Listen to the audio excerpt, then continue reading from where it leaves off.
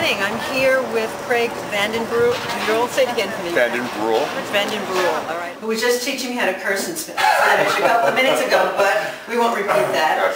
Um, and I'm standing next to a fantastic chair that is the iconic symbol of the Spring Show, New York City. This is my Remon chair. It's uh, cast stainless steel, mirror polish. It's brand new? It's brand, new. it just was delivered today. We just finished it. So it's not old.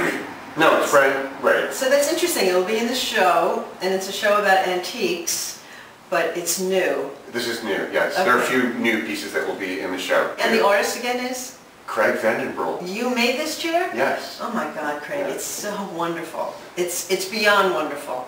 We have to go see some of the other fabulous pieces that Craig has. One is more fantastic than the next. Let's go look at those consoles, okay? Good. All right, Craig, tell me about these. There are a pair of them. They're made out of resin. Yes. And they're from the 1970s, right? They are. They're, they're Tell me about French. Uh, the artist is uh, Pierre Giraudon. Uh, They're fabulous, really fabulous. He's one of your favorites, because I heard you mention that before. Tell me about him. Uh, his name is Fred Berard. He's Okay. uh, French again. Uh, he just does these incredibly fluid, crazy shapes. But this he did when? When did he do this, this vase? Uh, this, this space was done in the 1970s. All right, more goodies, let's go.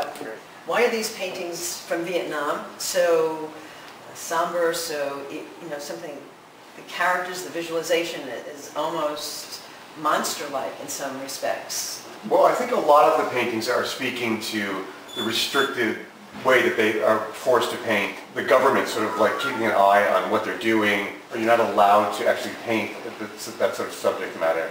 All right, thanks so much. This is Gail and Craig at, um, tell me. Craig Van Den Brulle Right, Gallery. just- I didn't want to, I didn't want to say it wrong one In. East Soho.